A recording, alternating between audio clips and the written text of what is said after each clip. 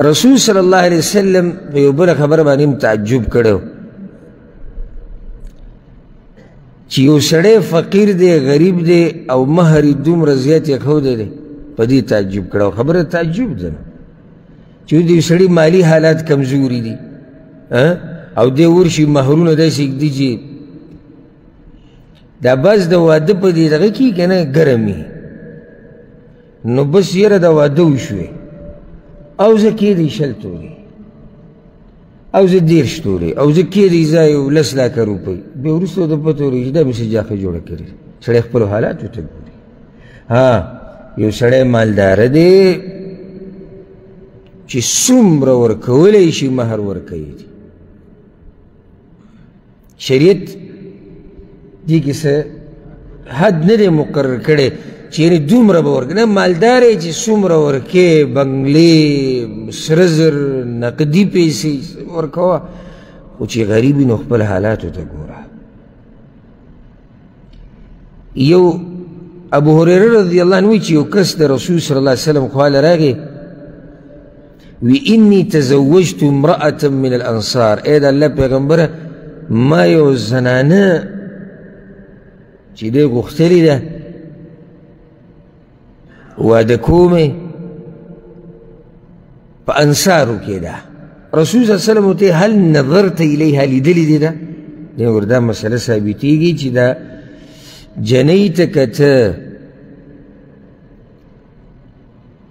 او د جنۍ الک ته کته چې کله د یو بل سره د نکاح اراده د شریعت د دې ګنجایش ورکړی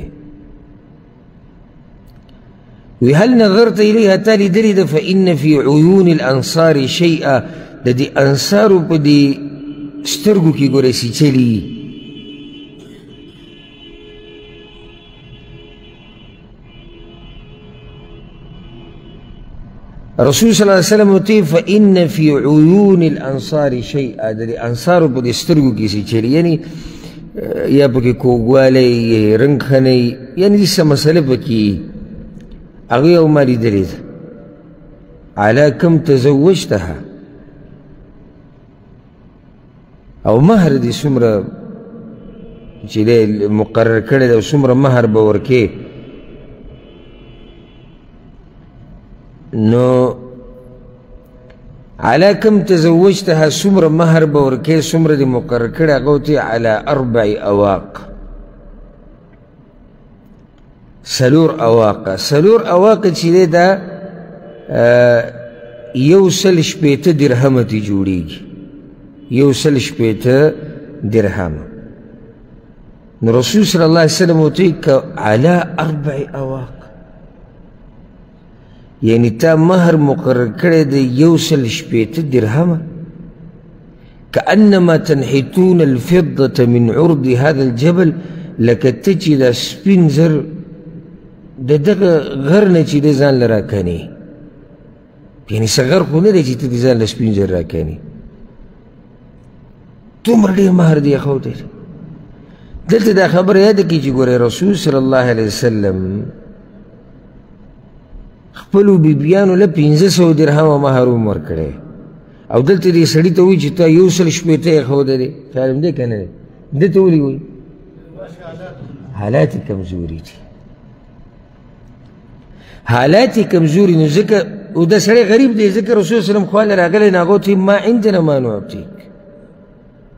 اوس موږ سره دې ورځو کې دومره سم نشته چې تاله یې درکړو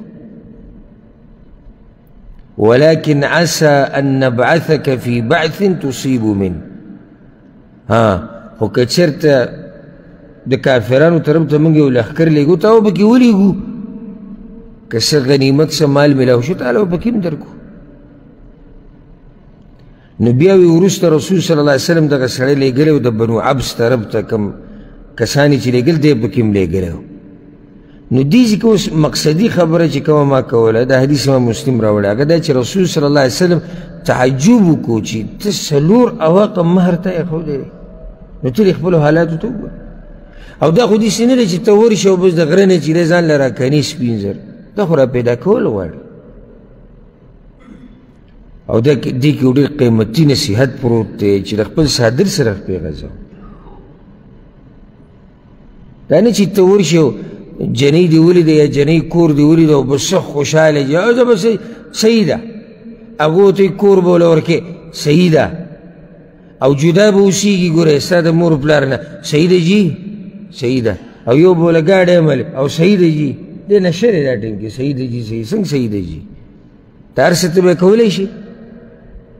ګاډی به والې یا به دا د مور پلار نه جدا کړي د بل کور جوړولو طاقت دې شته دې له به هغه پلاني ځمکه دې ته ولیږي هغه ځمکه د دوی مې نه وي د ده نه وي د ده پلار وي دی ورته وایي صحیح ده دغه به هم درکودله سړی سوچ کوي ها طاقت دې شته لګوه به چې څومره لګې مهر کې څه قید خو نه دی راغلی چې دومره به ورکړي نو ځکه رسول صلی الله علیه وسلم د سړي د حالاتو ته وکتو نو څه چېرې وکړو تعجب وکړو چې ګوره د الله بنده ځان دې په دومره تکلیف کې واچو ولې ځان په تکلیف کې اچي هغه څه کوو چې ستا په وس کې او بیا دا د رسول صلی الله علیه وسلم کرم دی او شفقت او مهرباني ده چې ورته یې وګوره موږ سره فی الحال څه نشتي خو تا به موږ په یو سریه کې ولیږو او که هلته څه میلاو شو ملګرو ته یو ته به هم ووایي